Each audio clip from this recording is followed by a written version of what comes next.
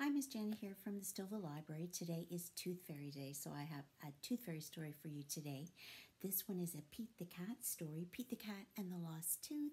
It was written by Kimberly and James Dean and published by HarperCollins. So, Pete the Cat and the Lost Tooth. Oh no, Pete had lost a tooth. What should he do? Pete shows the tooth to his mom. Put the tooth under your pillow, she says. The tooth fairy will come and give you money for it. Awesome. Pete thinks that under his pillow is a strange place for a tooth, but his mom is usually right, and it would be pretty cool to meet the tooth fairy. Pete puts the tooth under his pillow, then he closes his eyes and he pretends to sleep. Suddenly he hears a jiggling noise. Pete opens his eyes. The tooth fairy is at his window. The tooth fairy flies into Pete's room. She looks worried. What's wrong? Pete asks. It's a very busy night, the tooth fairy explains. I don't know how I'm going to collect all the teeth that fell out today. Pete jumps up. I can help, he says.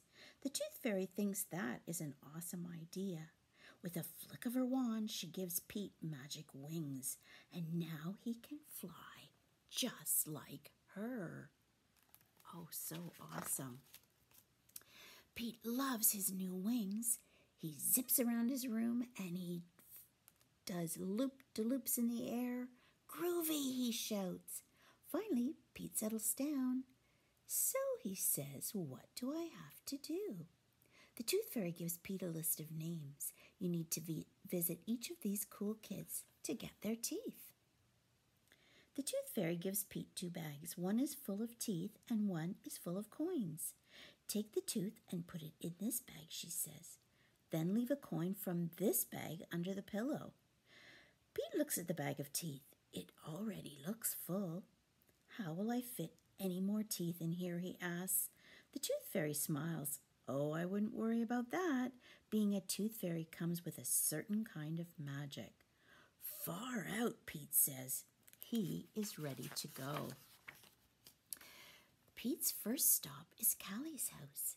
He flies through the window and straight to her bed. Pete lifts up Callie's pillow. He takes her tooth and he leaves behind a coin. Next up is Alligator's house. Pete finds Alligator's tooth. It's big and sharp. He pulls it out from under the pillow and puts a coin in its place. Then Pete sneaks back out the window. Pete smiles to himself. This job is easy. Pete's last stop is Gus's. He flies inside and he reaches under Gus's pillow. Uh oh, there is no tooth. What's he going to do? Pete looks next to Gus's drums. He looks in Gus's drawer. He even checks inside Gus's baseball mitt. The tooth is nowhere to be found. Does Pete panic?